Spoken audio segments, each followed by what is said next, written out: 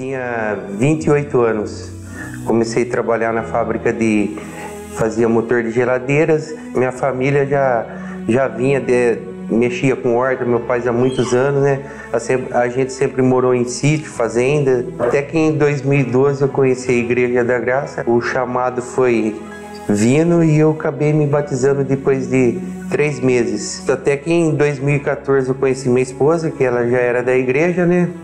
E em 2015 a gente resolveu se casar. Por volta de uns seis meses eu acabei ficando desempregado dessa fábrica. E ainda ele me perguntou: e agora, o que nós vamos fazer? Eu falei, amor, eu tenho um desejo de mexer com horta, né? Que minha, minha família sempre mexeu com isso. Porque eu creio que Deus já tinha um propósito na vida dele que era ele ser um empresário e não mais um empregado. E aí a gente começou com um canteirinho de uns 20 metros mais ou menos e a gente entregava particular, eu tinha uma motinha, a gente plantava só no chão, né? A pior parte no começo foi conseguir cliente, ganhar confiança no mercado, né? A gente começou a fazer um plantio de coentro, né? E vendia por volta de 20, 30 maços por dia. Ele colhia a verdura, eu lavava, ajudava a fazer os maços de coentros. O dinheiro chegava até nós e não, não fruía como tinha que ser, você entendeu?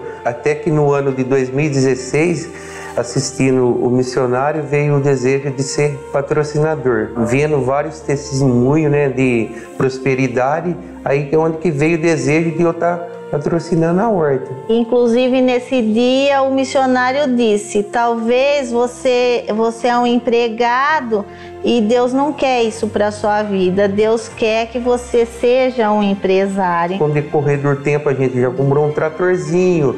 É, da irrigação na mão, a gente já passou para aspersor, até que surgiu essa novidade da hidroponia, né?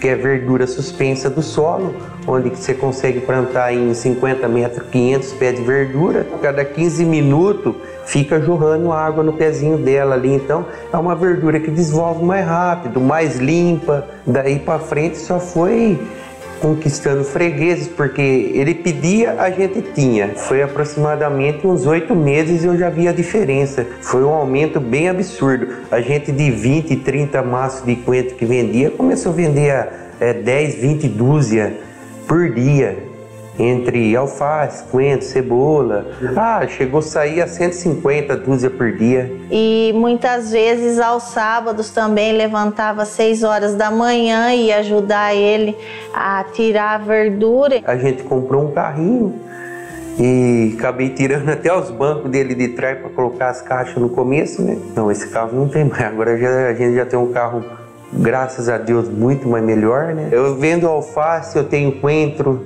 é, cebola, salsinha e o nosso produto que diferencia do concorrente é que não tem agrotóxicos. Através do patrocínio que eu fui vendo que as coisas foi prosperando, não só através do patrocínio, como ser dizimista, que a gente viu que a gente tem que primeiro dar para depois receber.